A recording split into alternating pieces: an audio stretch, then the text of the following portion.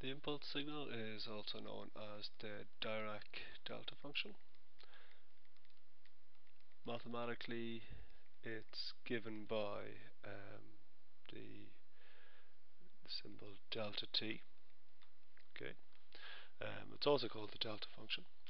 Um, but it can be thought of really as being a burst of energy, so something like a lightning bolt, um, this sharp burst of energy.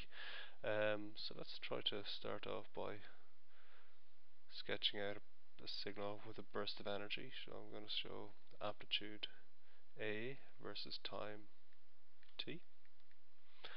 And um, a signal that has a burst of energy will have a value of 0 up to a certain point and then increase rapidly in energy or amplitude and then decrease back to zero okay? So this isn't an impulse but this represents something that has a burst of energy. Um,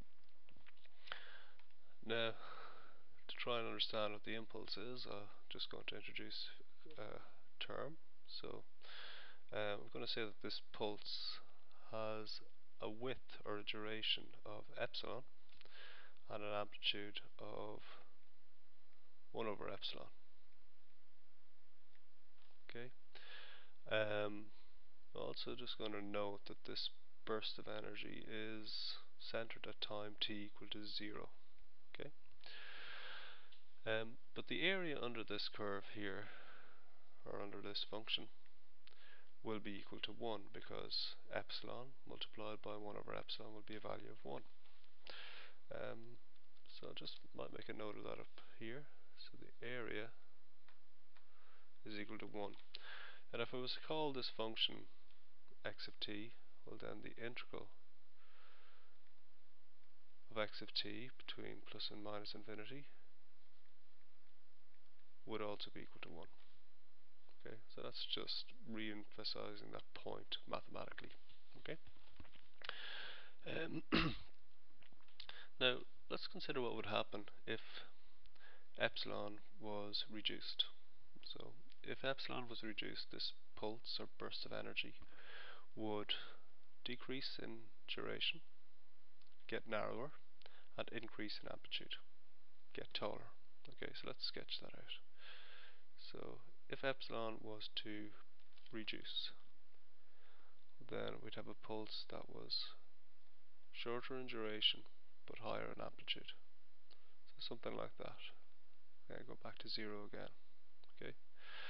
Now the area here under this curve here would be 1 because again this is a similar function. The amplitude would be 1 over epsilon the width would be epsilon so multiplying those two would give you a value of 1 now so this is a burst of energy that's shorter in duration but greater in amplitude. Now what the Dirac delta function is or the impulse signal is is what's produced when epsilon is equal to 0. And when that happens, what we get is this pulse or burst of energy that's 0 up to time t equal to 0 and then the amplitude would go up towards infinity it wouldn't be infinity, but it would go towards infinity. Now, I can't show this on this graph, and the way an impulse is normally shown is shown as this line with an arrow, which indicates that it goes towards infinity. And after time t equal to 0, the amplitude will be back to 0. Okay, so this blue signal here is really what the Dirac delta function is. Um, it's what you can think of it as this pulse um, of width epsilon and height 1 over epsilon where epsilon goes to 0 um, so the area if I took the area under the curve of this blue signal or took the integral delta t dt that would be equal to 1 that's one of the key properties of the Dirac delta function I'm um, just going to clear all that and just to reinforce those points. So if I was sketching out the Dirac delta function, I'd show amplitude against time. The amplitude would be 0 up to time t equal to 0 and at time t equal to 0 the amplitude goes towards infinity. It's not equal to infinity. Um, it's really undefined. And it'll be back to, to uh, an amplitude of 0 after time t equal to 0 so mathematically delta t is equal to 0 for all t not equal to 0 okay? Um, the other key property of the Dirac delta function or the impulse signal is that the area under the curve between infinity and minus infinity delta t dt that's equal to 1 um, this is probably the most important thing here this area. Um, and there's a couple of important consequences that should be noted as well. This will be particularly important when it comes to trying to understand things like convolution. If I had, um, if I scaled this signal delta t by some scalar k, so say I said k delta t, so I multiplied delta t by some scalar k, well then if I took the area of k delta t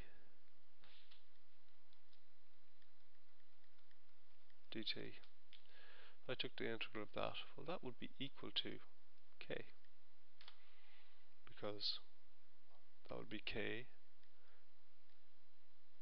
by the area of or the integral of delta t dt which is equal to k by 1 which is equal to k. Um, and that mightn't seem so important now but when it comes to understanding things like convolution um, that's an important fact to note. Okay, so that's the introduction to the impulse signal. Um, in the next video I'm going to take a look at uh, the impulse signal and the frequency domain and what you'll see is that the impulse signal has a very useful property that the impulse in the frequency domain contains all frequencies. So we'll take a look at that in the next video and you can see how that's used to determine the frequency response of systems. Okay, thanks for your attention.